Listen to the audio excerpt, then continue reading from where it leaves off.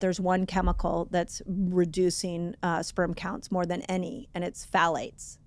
And phthalates are in fragrances. Uh, They're in our colognes, they're in our perfumes, they're in our laundry detergents, they're in our air fresheners. They also are now infiltrated into our water. So they've infiltrated into, they're now being sprayed on our foods. Animals that are drinking the water have phthalates in them.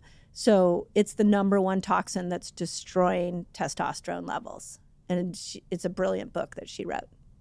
You talk about in The Reset Factory, your first book from 2016, chapter 10, you said something which I hadn't quite um, appreciated. You said that even the things we put on our skin are absorbed into our body um, and then they go directly into our bloodstream and into our kidneys. I didn't think, when I read that, it got me thinking because there's so many things that I sort of unconsciously just spray on my body Right. every day. And I never look at what's in them because I just think it's on the outside and it will wash off. Yep.